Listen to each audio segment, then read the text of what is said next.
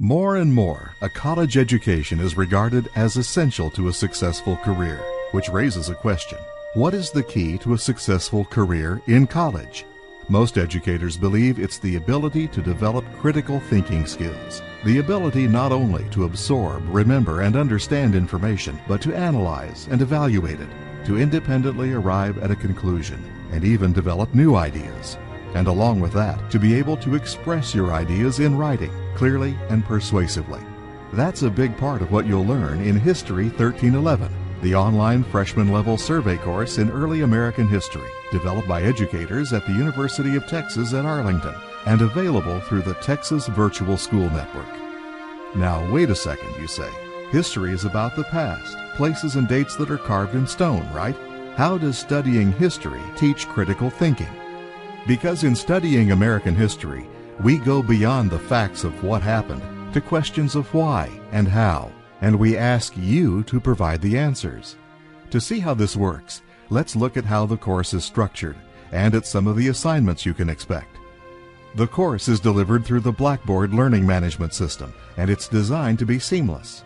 That means you can access all course materials, including your textbook, through the course module. The course is designed to be easy to follow, too, regardless of your online experience. Every lesson and assignment leads you into the next. You start the course by clicking the Start Here button in the navigation panel on the left. This opens a page with the basic information you'll need, including course content, grades, resources, and especially how to get help when you need it. The Course Introduction button is exactly that.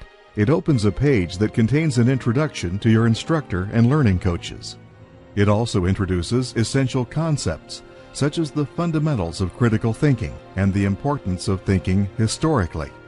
It also includes a link to your instructor's introductory video, What is History?, which provides an overview of the course, along with your professor's thoughts on the subject.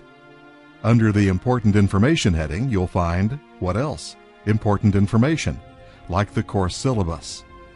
The course calendar serves as a timeline for your lessons and assignments. It enables you to keep track of where you are and where you need to be to help make sure you don't miss any deadlines. Course content is organized in units with several study topics in each unit, 15 topics in all. Within each topic, you'll find a study guide, your reading assignments, plus supplemental course material, including video lectures, PowerPoints, and links to outside websites. At the end of each topic, you'll have a multiple choice quiz to complete before moving on to the next topic. This confirms your understanding of the topic while helping to ensure that you don't get lost or fall behind. You can't jump ahead either. That's because each assignment is accessible only after a certain date. But we said this course was also about developing critical thinking skills. One way we do that is through exercises like the Document Project. In this assignment, you pick a topic, then find three primary documents related to that topic. A primary document is one that was written by someone living in the period, like a letter or newspaper article. Your assignment will be to read and analyze those documents, then create a PowerPoint based on your analysis, as if you were going to do a lecture on the subject. Another example is the group project. In this, you'll collaborate with other members of your virtual class to create a wiki on an historical topic. Each member of your team is responsible for one section of the wiki. Through exercises like these, you'll be developing your abilities to read, write, and think, skills that you'll use throughout your college career and beyond. Your skills will also be honed through participation in group discussion boards. In these graded assignments, you'll comment on topics posted by your professor, as well as reply to the comments posted by your online classmates.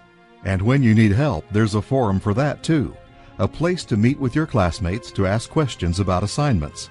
In fact, you'll enjoy a high degree of interactivity with your classmates, your professor, and your learning coach. All of us are here to help you discover how truly fascinating American history is, and how, in studying the past, you can develop the essential cognitive skills that will put a solid foundation under your future. For more information on this and other UTA online classes offered through the Texas Virtual School Network, please consult the TXVSN online catalog. Then schedule a meeting with your academic advisor.